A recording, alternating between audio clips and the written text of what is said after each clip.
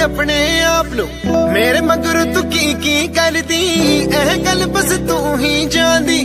ਮੈਨੂੰ ਸਿਫਾਈਆਂ ਪੇਸ਼ ਨਾ ਕਰ। ਰੱਬ ਕੋਲੋਂ ਥੋੜਾ ਜਿਹਾ ਦੜ ਸਿੱਖ ਜਾ